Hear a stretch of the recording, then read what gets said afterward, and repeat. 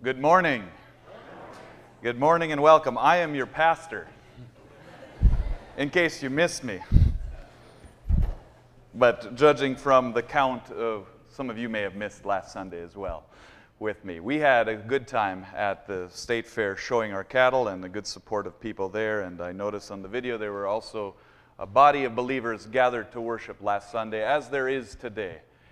And we welcome you into this place, into this house of God, a sacred place, a sacred place where I dare you to expect something to happen this morning. Let's pray. Dear God, our Creator, our friend, we come to worship you today. We come to sing, we come to pray we come to listen. You always hear us. Help us to hear you. Amen. Stand and pass the peace of Jesus Christ to your neighbor.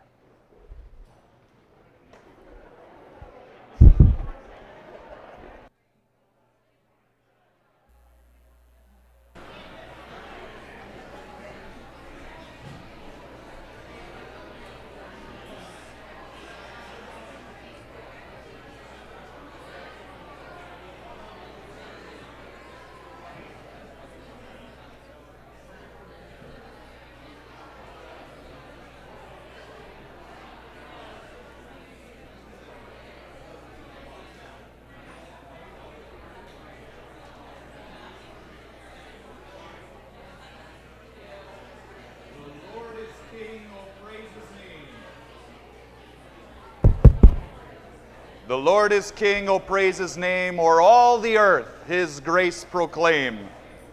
From age to age, from day to day, his wonders grow most gloriously. If you believe it, let's sing it together.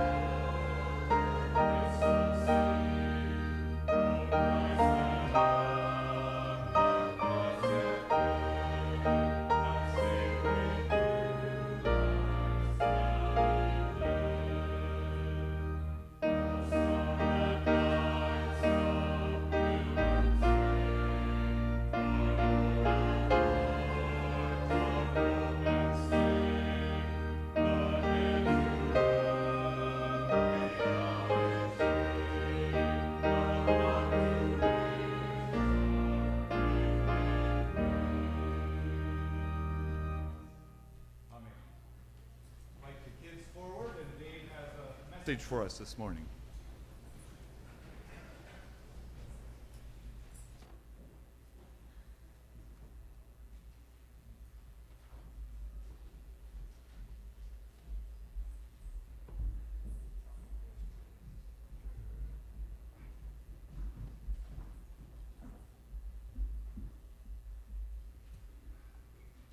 Well, how are you guys today?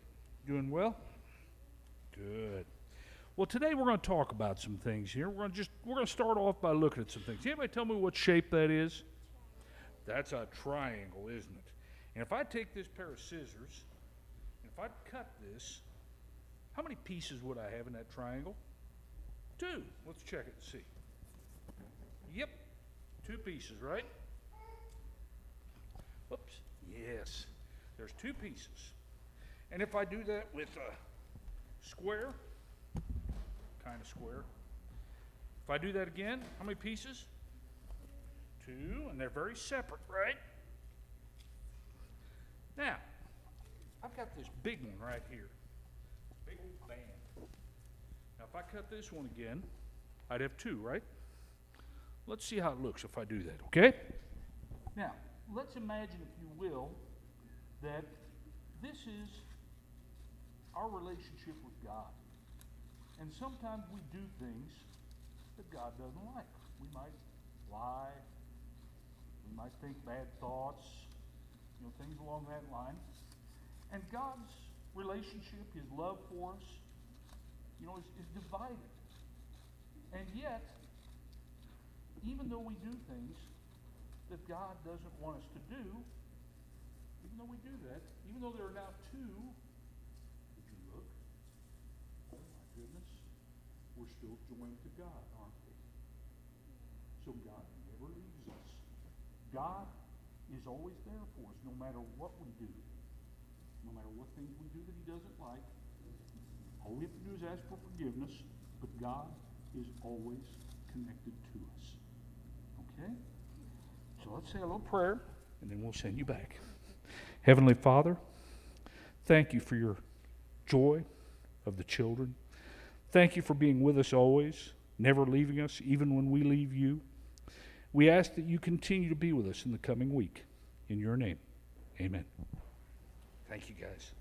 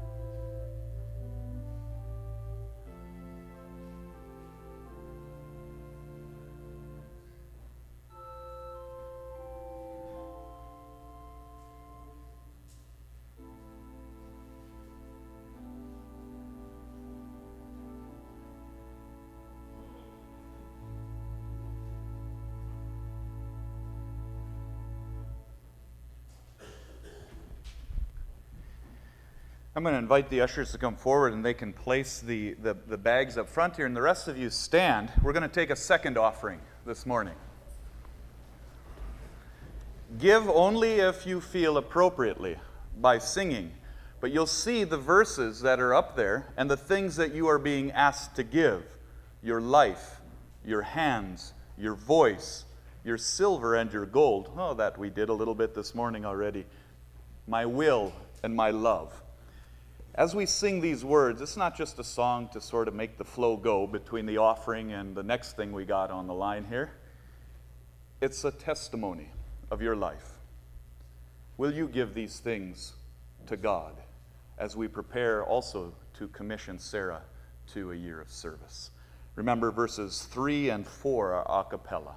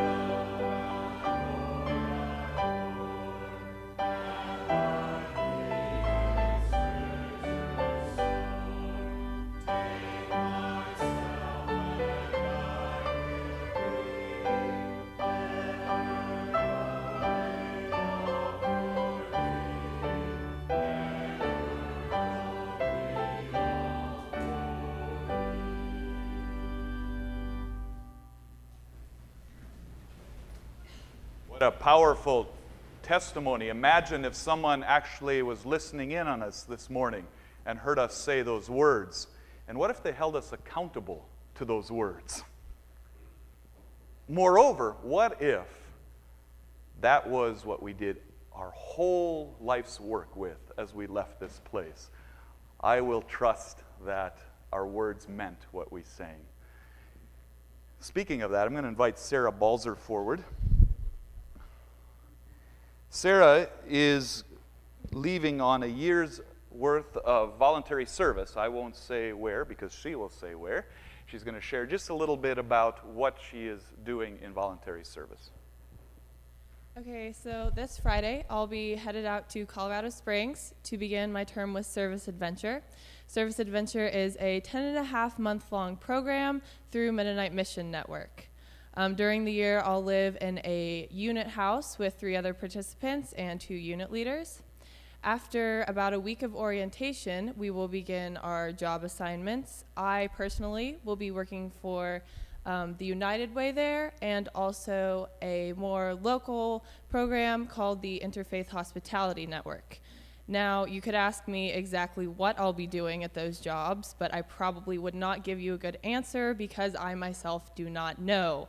They haven't really given me much information, but I'm sure I'll learn more during orientation. Um, apart from our regular job assignments, we also get to do, as a unit, a lot of really cool other things. Um, I know that we do a lot of work with the church there. We also get to do, um, when Rocky Mountain has their snow camps, we get to go help with that. I know the unit before has um, done small trips to Albuquerque to visit the other unit there and done things like hike up Pikes Peak. So, those are all things I am very excited for. Um, I'm excited for the year in general as a whole. Um, I'm very thankful for all of the support that I've received from you guys so far, and I would just like to ask for your continued support and your prayers throughout the year. Thank you. I'm going to ask you one question, just put you on the spot here. I did tell you this beforehand, but people would ask us this too when we were in, in Bolivia. Why in the world? You graduated from high school, you could go to any college of your choice, you could get a job. Why in the world do voluntary service? I mean, you're not getting paid. Uh, why? Um, I was kind of, when I was starting to think about doing this, it was kind of like coming to a changing point in my life, and I really don't, like, I don't know what I want to do, like, for a job, and I felt like uh, voluntary service was something that I was really called to do to kind of help me grow as a person and to um, kind of figure out what I want to do with my life while helping other people. And I just think that it's a really great opportunity. Nice. And uh, I'll take that. Why don't you come to the middle here? And if I could have the deacons and the Peace and Social Concerns Committee come forward first and surround her in prayer, and then anyone else, if you would come and surround her in prayer in our time of commissioning as well. Every person who does uh, service or wants to do service, uh, voluntary service of some sort, can apply for uh, some funding to help them out with this because this is not uh, always free to the person either. They're sacrificing some time, yes, but some money as well. And uh, you have a scholarship available for you through the Peace and Social Concerns Committee, and that's why I asked them to come forward. The rest of you who are able and willing, stand or come and surround us in prayer as well. And if you in your place just want to lift your hand as a sign of blessing, that would be great, or join us up here.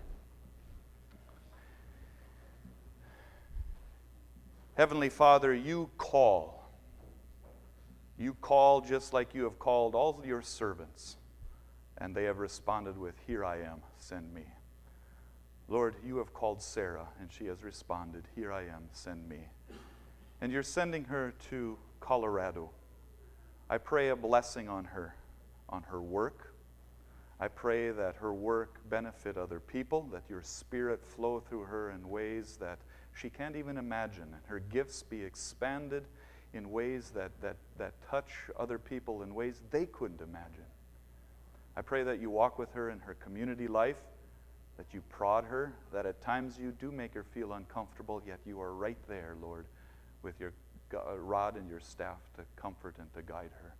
Lord, I just pray that you keep her safe, that you keep her motivated, that you keep her solidly in the presence of your Spirit expand your work within her and lessen her own uh, self within the sacrifice of her service. And we pray this all in the name of Jesus Christ, who said, Come, follow me. And all of God's people said, Amen. Amen. Go in peace and keep in touch.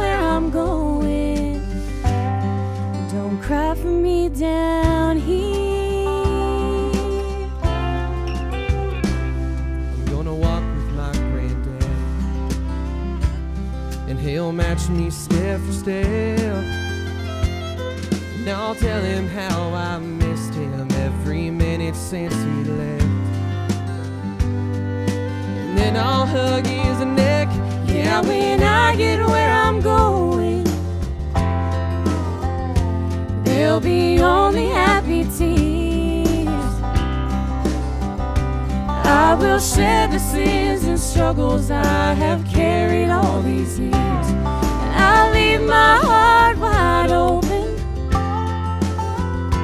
I will love and have no fear.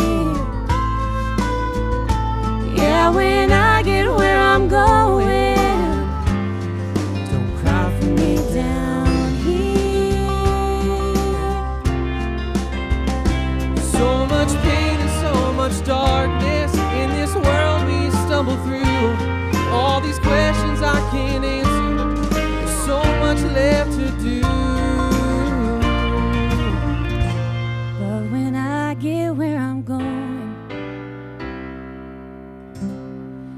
see my Maker's face.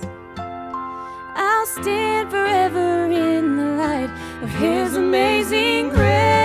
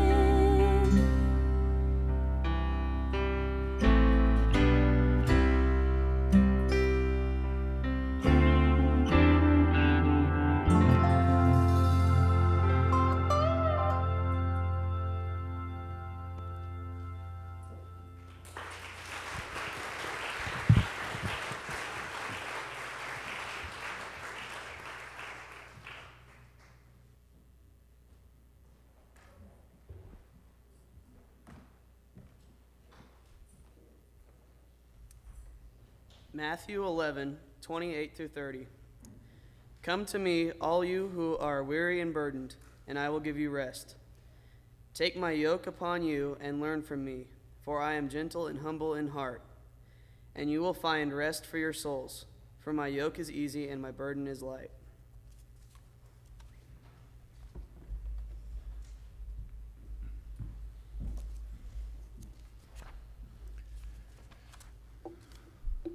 Heavenly Father,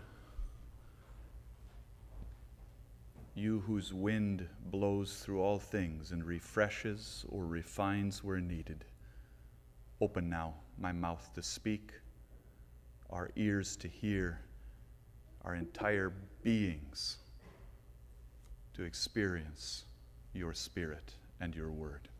Amen. A uh, Tacoma, Washington newspaper carried the story of a of Tattoo, who is a little basset hound. And uh, Tattoo didn't intend to go on an evening run one evening, but when his owner decided that uh, he would go for a ride, he took him along on a leash, and uh, his leash got caught in the door with Tattoo stuck on the outside. And the owner took off and Tattoo had to go on a run that he hadn't planned for. And as they went past the police, policeman Terry Gilbert reports, and quote, this is the way it was in the news story, he said, the hound was picking them up and putting them down as fast as they could go. And the officer chased the car to a stop, and Tattoo was rescued. It was estimated that the car got upwards of uh, as fast as 25 miles an hour. Now, for a greyhound, that's no problem, but for a basset hound, that's picking him up and putting him down as fast as you can go. And he was relatively okay.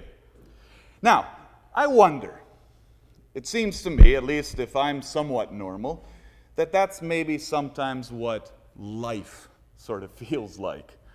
We're putting them down and putting them up as fast as we can go. Life seems to be moving quicker and quicker, faster than we want to or we're able to go.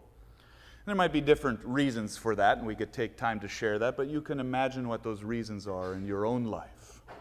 And so, we can either learn to keep up, go faster, or to let go, right? I remember water skiing with a friend, and he was bragging about how good of a water skier he was, and I was uh, driving the boat. And uh, you know how it works with water skiing. He's ready. He goes, go! And we gunned it, and the thing tore him out of the water, and he was leaning back.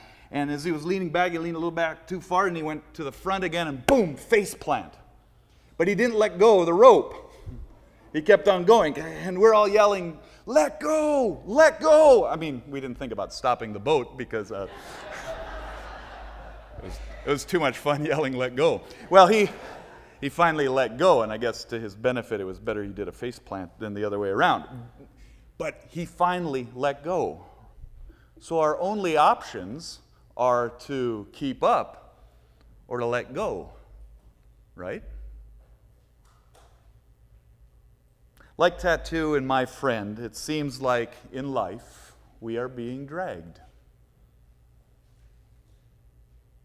You know what's going on in your life. You know what makes it feel like, man, if I could just go a little faster, it would be good. If I could just let go, it would be good. But I wonder if keeping up or learning to go a little faster or just simply letting go really are our only options in this rat race called life.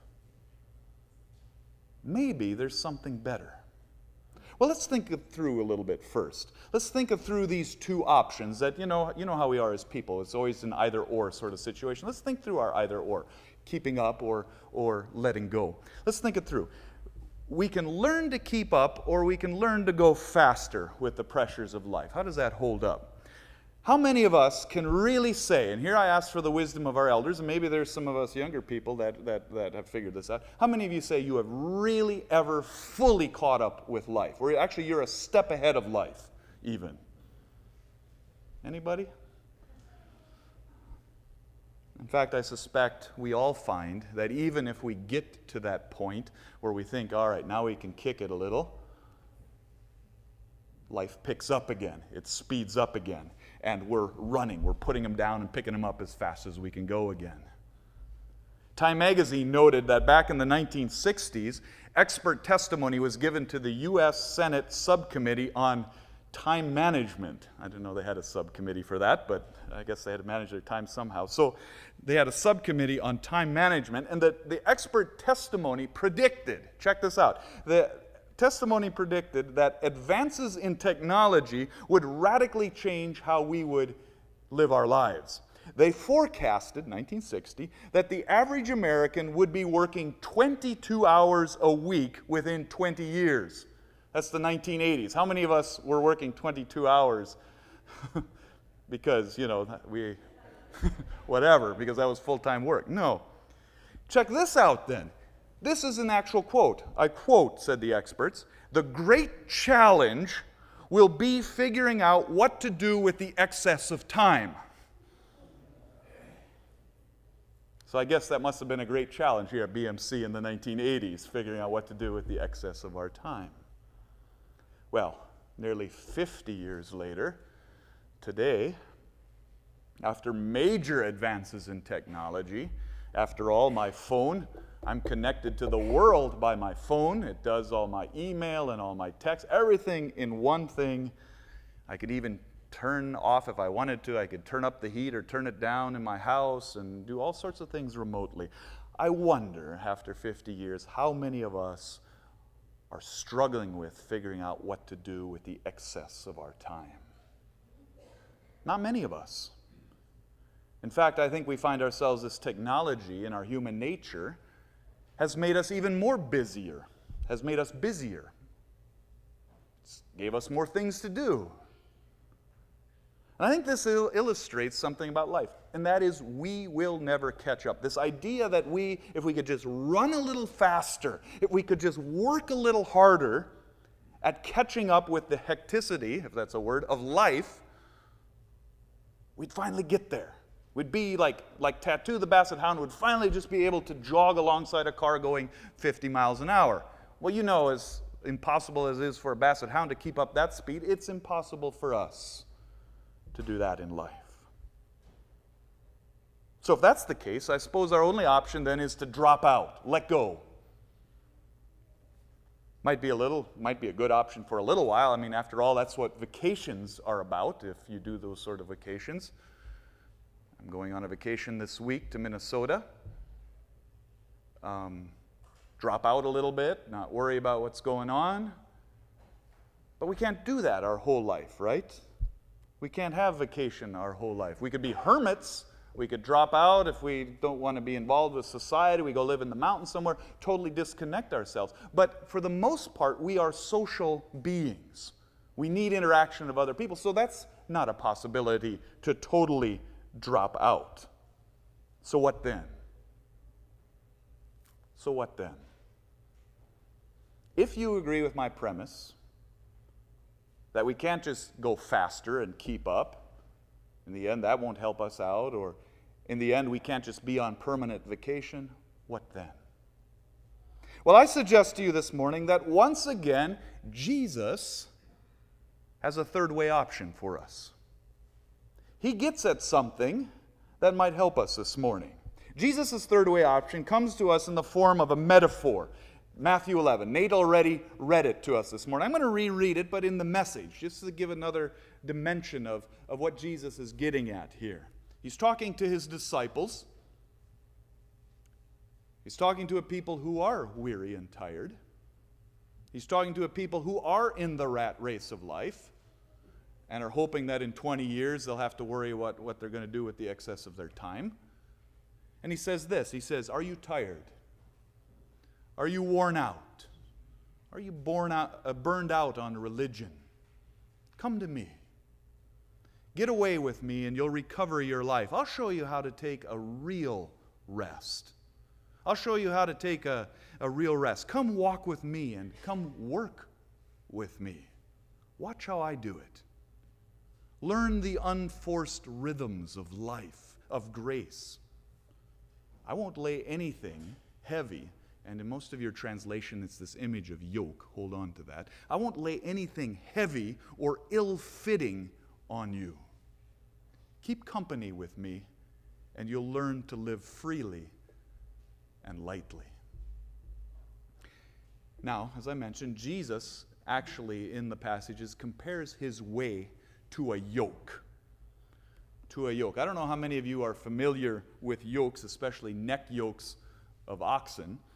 I don't think there are too many farmers here anymore that farm with oxen. In uh, my grandfather farmed with oxen in Paraguay and in Bolivia. They still farm with oxen on the side of the hills where you can't get tractors. And in fact, this is sort of a rabbit trail, but in fact, once a year they have an accident where an oxen rolls off the side of a hill. Not a first world problem, obviously. but people still farm with oxen. And the yoke is an image that Jesus used here. And I'm somewhat familiar with oxen because in Bethel College I took a course called Principles of Sustainable Agriculture, and we took a field trip. And we took a field trip to Kalamazoo, Michigan, to a place called Tillers International. And there we learned how to build oxen yoke. And Tillers International is a place that works with appropriate technology for third world countries like Latin America and, and uh, Africa, where it would, it would just not make sense to, to give the type of technology that they're not ready for yet. And so we work with, with oxen, uh, with animal traction. And so we learned how to make oxen yoke, and we learned how to plow and how to disc with oxen. We did that with the, the commands, the he and the haw, and we got, we got some of the work done. Now, one of the most important principles that we learned with this was that for an oxen team to work efficiently, the yoke had to fit properly. You can't just take any beam of wood slap it onto an oxen and get him to work as efficiently as possible. That every yoke, in fact, is custom fit to the fit of the neck, and that the yoke itself, around, or the, the, the harness itself, fits into the neckline of an ox. And if it fits just perfectly, an ox is pushing, it'll sink right in there into the seat of their, of their shoulders. It won't harm their bone and it won't, won't chafe them. So there's a lot of crafting that goes into the comfortability of a, of a neck yoke. And we also learned that the two had to work together. Now, this seems obvious that the two had to work together or nothing would get done. That's the image that Jesus is working with this morning. He is talking to a people who are yoked in life with an ill fitting yoke. Imagine yourself. What are you yoked to? What are the things to which you are connected, and how do they fit into your life and into the dreams and into the faith and into the, the, uh, the, the movement of your life? And he's speaking to a people whose yoke is heavy or it's imposed upon them, or it is ill fitting, if you keep up with the word picture. Like Tattoo the dog, like my friend, these people either have to learn to keep up with it, bear through it, or to give up as they struggle with the pressures of life. And I think he's as good as talking to every single one of us this morning. And like Jesus has a tendency of doing, Jesus offers an invitation. He doesn't just sort of say, okay, I gave you good material to talk about yokes on Sunday morning preacher. He says, Pastor Willmar, I offer an invitation for you and for those listening. Jesus invites us.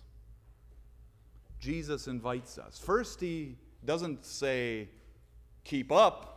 I've got the five secrets of picking them up and putting them down faster if you just listen to me. On the other hand, he doesn't just say, let go of all yokes, throw them all away, but he says, come, take my yoke upon you. Invitation is come. Come. You come. Willmar, come. Come to me and take your yoke upon me. Take my yoke upon you. My burden is light. Learn from me. So, what might we learn, though, in life? I mean, if you're a curious person, well, that's great, an invitation. I got a lot of people inviting me to something or the other.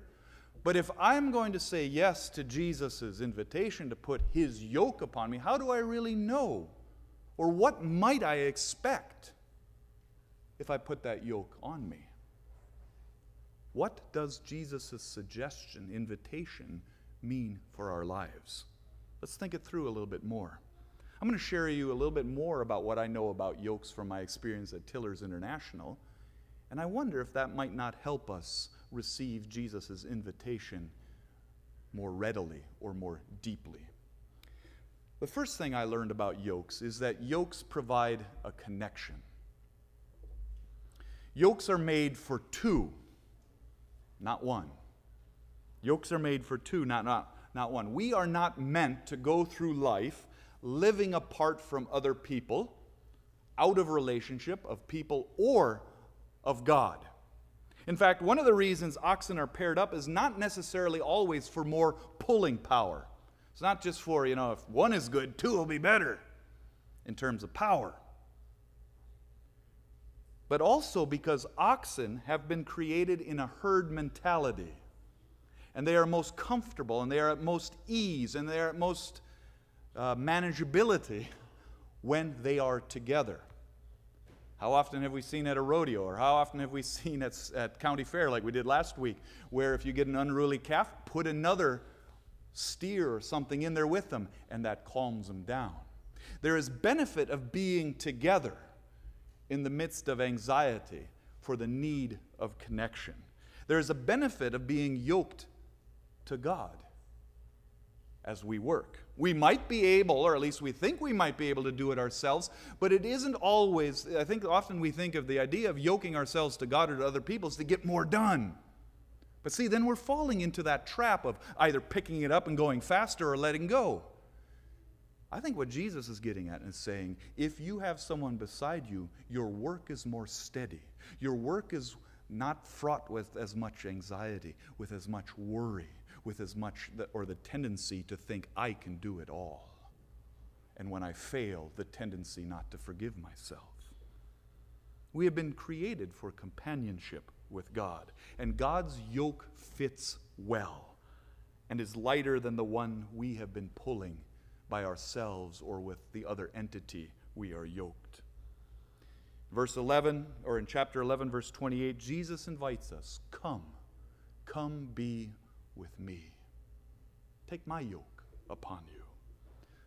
Yokes provide connection and companionship.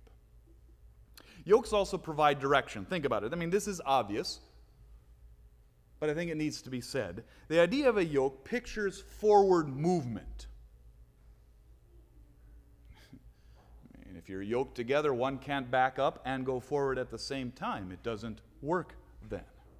You are working together. You are moving forward. You are moving in the same direction with the same mission together. Sharing a load, sharing a task. You cannot be yoked to Jesus and go your own way anymore. And that's the dangerous part of being yoked with Jesus. And I think often we take this verse to say, oh man, if I just take this yoke on me, man, it's all good sort of the, the elixir of all things. If I just take another hit from his yoke, life will be good. But the reality is, if you are yoked with Jesus, you are now going in the direction of Jesus. You are yoking yourself with the direction of Jesus. So it's not a thing or a secret you take on yourself, it's a direction a way of movement that you are yoking yourself to. Being yoked with Christ ensures that we are moving in a life giving trajectory, moving in the way that God has been inviting people to move over the centuries, over the millennia. And the secret to this yoke, if there's any secret, is it is different than all of the other promises the yokes you have give you or the illusions they give you. It's not that you might actually have to pull or get sweaty pulling, but in the end, the reward, the reward is lighter.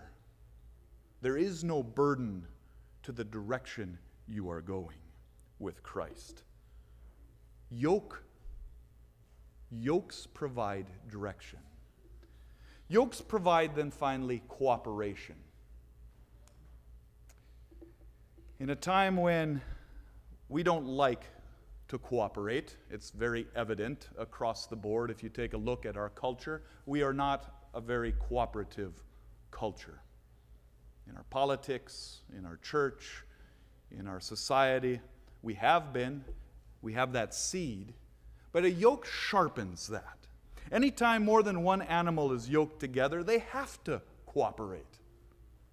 We can't get the job done. I mentioned that earlier. You quickly learn to work together. You quickly learn to bear the load together. And we don't bear the load fully ourselves. I think that's something that goes against our own culture maybe even our own upbringing. This idea that I pull myself up by my own bootstraps. I can give, but receiving,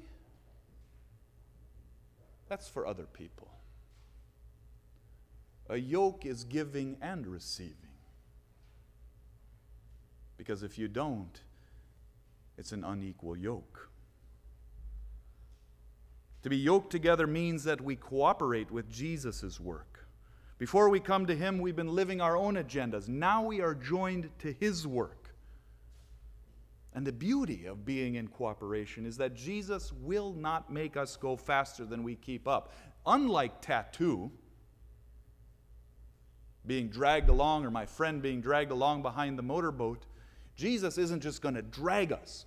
We're going to go a direction but the point of his yoke is out of love, he moves us, teaches us, prods us to move forward. Jesus always makes sure that our mutual yoke will be a tool to share the load. To share the load. I think this is an image for the church. Our yokes are to share the load, not as a tool to drag other people along. One day, a man went to see a farmer friend. He was plowing his field with a team of oxen, and the man noticed that one animal was much bigger than the other animal, and so he made note of it. He asked, well, you know, why, why do you have such an uneven team out there? And the response from the farmer was, was interesting. He said the big animal was an older animal, stronger animal, but an animal that uh, was well broken to the yoke had experience working in the field, had experience working with other animals. And the small one was a young animal, new to the yoke. Not much experience, not much power, a lot of motivation. And the man asked, Why then do you put them together? And the farmer gave an interesting reply. He said, Well, you see, it's like this the older ox is the best ox I have, he knows his way around the field. And the reason I put the younger one with him is so that the older, more knowledgeable ox can teach him how to plow. If I never put them together, the younger one would never learn. The younger one, out of its, its, its motivation, would either pull itself to death or it would stop working at all. But together, the younger ox the younger ox learns to cooperate and to rest in the strength of the older ox. So I submit to you this morning we have at least three choices. I was wrong, we don't have two choices. We have at least three choices. We can learn how to keep up and run faster. Try it. We can try to let go unplug, try it. But the option I invite you to this morning is that we do neither of the above, but instead we make a deliberate decision to yoke ourselves to the practical, life giving way of Jesus Christ. Come. Come come and rest in obedience in Jesus' way. Come to me, all you who are weary and heavy laden, and I will give you rest. Take my yoke upon you and learn from me, for I am gentle and I am humble at heart, and you will find rest for your souls. For my yoke is easy and my burden is light. What better can there be? Amen.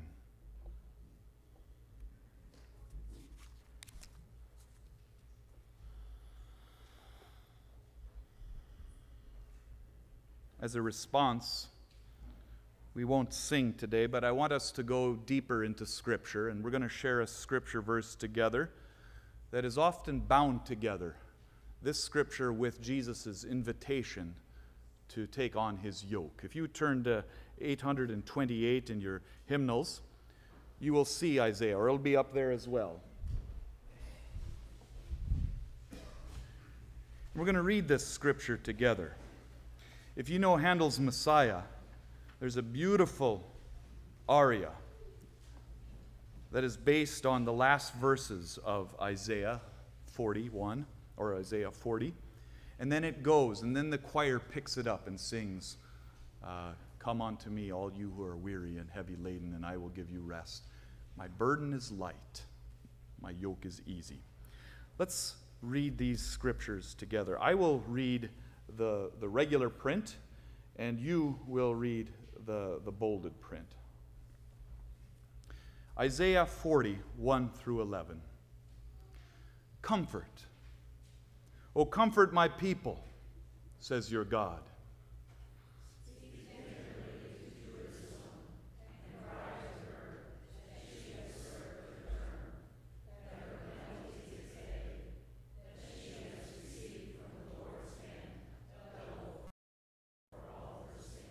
Voice cries out, In the wilderness, prepare the way of the Lord, make straight in the desert a highway for our God.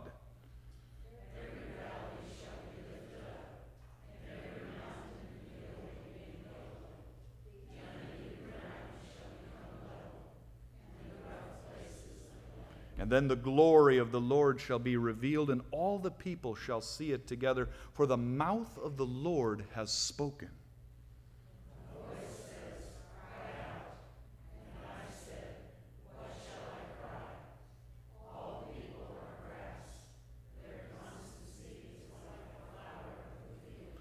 And the grass withers, the flower fades when the breath of the Lord blows upon it. Surely we people are like grass.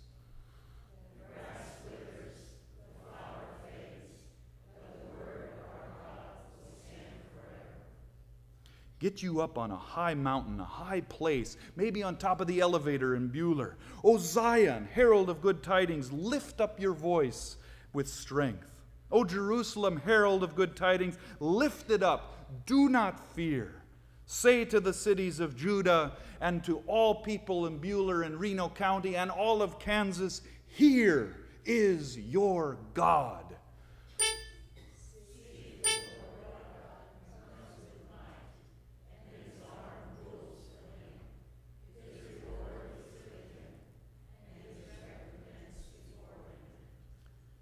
and he will feed his flock like a shepherd. He will gather the, arm, the lambs into his arms, and he will carry them in his bosom, and gently lead those who are with young. Promise of forgiveness, promise that the yoke of Christ, even in the midst of the reality of death, which we are experiencing as a congregation this week as we've lost our good brother Alan Wiens to lung cancer this week, promise that in the midst of our worst sin, there is hope that indeed Jesus' invitation to take his yoke upon him, to learn from him, and to walk with him is real and does not fade away. It never will. How would you give testimony to that, God's great goodness in your life? How would you shout out from the elevator of Buhler, This is our God. He is here. This is what He has done, both small and great.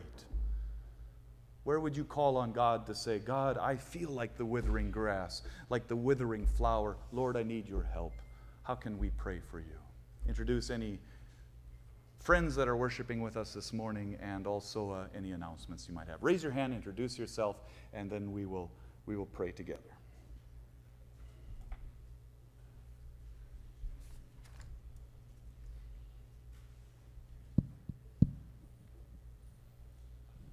I'm Charles Watkins. Uh, John Gray uh, passed away last year, and he was a member of the Burton Mennonite Church, and they're getting ready to do a sale out there. He is very generous with MCC. We're going to have three work days, uh, three coming up Wednesdays. It'll be from 8 till 12, and John Gray's place is uh, 914 North Burmack Road. So show up there physically, and we'll get it ready for him. I'm Ed Hatchel. First of all, I'd like to thank Joel, or Joel, Zane and Kristen for singing, and then introduce um, Zane's parents, Joel and Kathy, Alex and Addie. Great Welcome. to have you here. It's good to have you. Alan Wiens' memorial service will be here tomorrow at uh, 10 p.m. with burial to follow. Yeah, let's meet at AM. I agree with that. Also, want to share that Wilbur Neufeld, our brother, uh, had a farm accident where he uh, had his tractor run over both his legs and uh, is in the hospital recovering from broken bones in the Hutchinson Hospital. So keep him in your, in your prayers uh, as the doctors discern exactly how they're going to approach the treatment there. Youth have their report tonight. Be there at Hoffnungsau. I won't even give the time, it's in your bulletin. I, I'm Jean Gordon, and I would like to introduce my mother is now here visiting us in church and will probably come with us every Sunday. Welcome. It's good to have you. Randy Swatsky. I want to make sure that uh, everybody understands that his illustration of using the elevator was only a metaphor. uh, there's, there are several people and agencies that would probably frown upon that, but it's a good metaphor. A um, couple of things uh, that I'd like to share.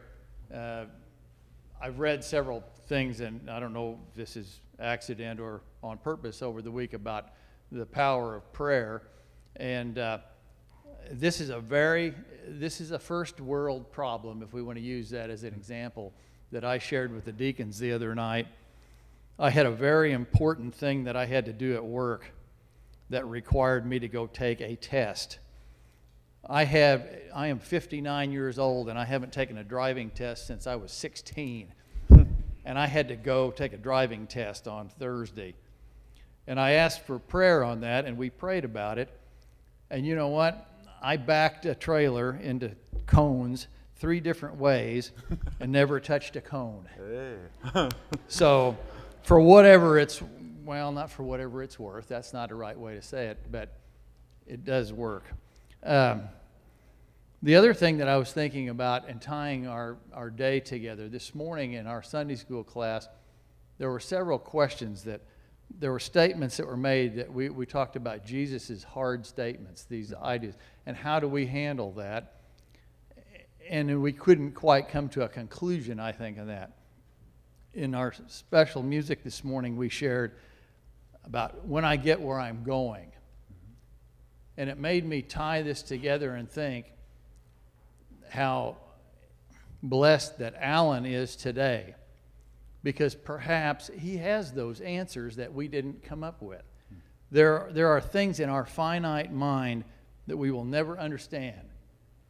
And however you understand heaven, whatever heaven will be, I think that at some point we get to that, when we are blessed to be there, we will find those answers.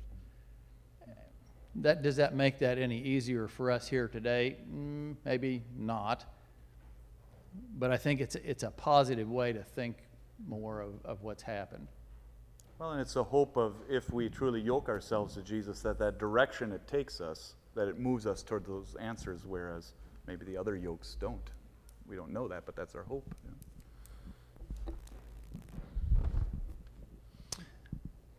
Bob Friesen. I want to just dovetail into what Randy was sharing. At the end of the month, August 28th, you'll hear more about this as the month goes on. But the producers of this film, it's called War Room, they're the ones who also made Facing the Giants, Fireproof, Courageous. So this group's getting better at making movies. This is now their fifth one. Prayer is a powerful weapon, and um, it's compelling drama with humor, a heart that explores the power that prayer can have on marriages, on parenting, careers, friendships, and every other part of our life. So you'll hear more about this as the month comes along, but keep that on your calendar.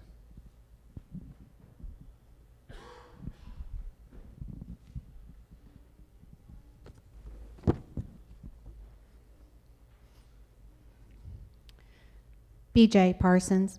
Uh, Greta handed me a couple of notes that she would like for me to read for you or uh, share with you. The children in Sunday school this morning, their lesson was about Ruth and Boaz and how Ruth gleaned extra grain from Boaz's field in order to have enough food for her and uh, Naomi to survive. We are all blessed and have extras in our home that we could glean from, uh, be gleaned from us. The children are being challenged to bring anything extra that they may have at home clothes that are too small, toys they don't play with, canned goods, and etc. to Sunday school next Sunday so we can share our blessings with those in need. Items will be donated to the etc. shop and the food bank. The second note Sunday school material is in each classroom for the fall quarter. If you are no longer interested in teaching, please let myself or Greta know so we can, can, can begin looking for replacements. And by the same token, you can be fit. If you are called to work with the children in our church, please let us know. The children in our church are our best resources and wonderful to work with. On Pastor's note, he gave us the metaphor of the older ox uh, working with the younger ox. And the older ox was there to take and train the younger ox. So if you think of yourself as being the older ox and our children being the younger ox, you have a great opportunity to help with that yoke. Thanks, Pastor. And one more, this is, um, we are working on Promotion Sunday. It is going to be geared around the Sunday school kids again. If you have a favorite Sunday school song that you would li- like to sing on uh, Promotion Sunday, please let Greta or myself know so we can include it in the service. Thank you. Also, make note that we have a candidate for our youth pastor position. Uh, the information of what's going to happen generally, sort of the general information of when he arrives and what's going to happen in those days, uh, is in your bulletins. We don't not yet know he, which church he'll choose to, to worship with on Sunday morning, but uh, his name is James uh, Lockridge, and I pray that uh, you are in prayer as well as this time of getting to know him and in discerning whether this is a good fit, uh, whether this will be a fruitful thing that we're doing this weekend. So please pray for that and uh, keep your eyes and ears open. Jim Bontrager. This follows exactly what Willmar said, but I wanted to follow up when I stood up front a couple months ago and let everybody know that in the youth pastor search, we had nothing. I mean, we had nothing. We, we looked everywhere. We, we were making cold calls. We had nothing. And I said, you know, remember, pray for us. The next day, we had two names. The, the following, on Tuesday, I bumped into a guy at Tyler's tennis tournament who was a potential, and um, I mean, we went from zero to three in two days. And so, you know, we're at this point now with James, and I uh, just want to say thanks for praying because it worked.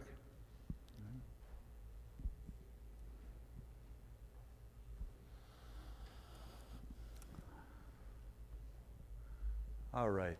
I'm going to speak the prayer, but I'll be absolutely confident that we are yoked together in this work, that you in your seat are praying alongside me. Let's lift all these things up to God and in, in, in thanksgiving and in concern. Holy God, we come to you this day as a diverse family. We bring energy of youth and we bring the wisdom of age we bring the steadiness of an adult and the freshness of a, of a child. We bring the arms of love and we bring the eyes of our faith. But God, we work in a world that overwhelms even all of these gifts put together. We know more violence than we can calm. Soothe the people, Lord. We know more suffering than we can touch. Heal your people. O God. We know more anger than we can mediate. We need your reconciliating spirit amongst us. We know more anger. We know more indifference than we can energize. Lord, light your flame under us. We know more sin than we can confess. And we ask for your forgiveness. We ask for your mercy, that indeed your yoke isn't too heavy. We pray for the family also of Alan Wiens. Bring healing to them. Those have experienced other death in families that weren't mentioned today that are yet struggling with this loss in their relationship. Lord, be with them. Be with Wilbur and with the rest of the family as they wait and see what treatment to take. Give his body strength to heal. Thank you, God. Thank you for your life. Your life when our tiredness, when our exhaustion stops all effort. Thank you for your calm when our impatience dulls our judgment. Thank you for your pardon when our pettiness sharpens our tongue. Thank you for your encouragement when failure destroys our esteem. Lord, thank you for your blessings. Thank you for MCC and the men and women that will help with the John Gray sale. Thank you for the youth group who will help with a sale this week here in town. Thank you for Sarah Balzer going out to Colorado to serve. Thank you for Randy passing his test and the testimony he gives, wisdom from his week. We thank you for a youth candidate, and I pray that in this process your will be done. Lord, we thank you that your yoke indeed is not too heavy. Your burden is light. And that even though we are like grass and like flowers of the field, you don't forget us. That indeed you and your salvation stand forever. And we pray this all in the name of Jesus Christ, our yoke. Amen. After the closing song, there'll be a, a, short video. You are welcome to stay and watch it. Uh, a video that uh, Don uh, put on there about a shepherd calling his sheep, and you may you may use that as a final illustration, or you may, may leave after the sending blessing. Um, actually, let's stand and sing Savior, like a shepherd, lead us.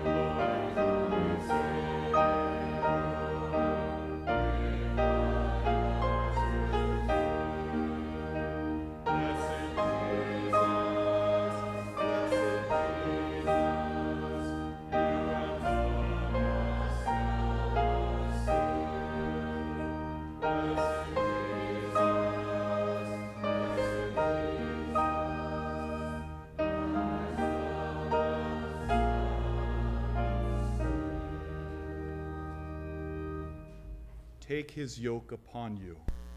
The burden is light, the direction is eternal, and the companionship is forever and empowering. Jesus loves you. Go and invite others to join this movement. Amen.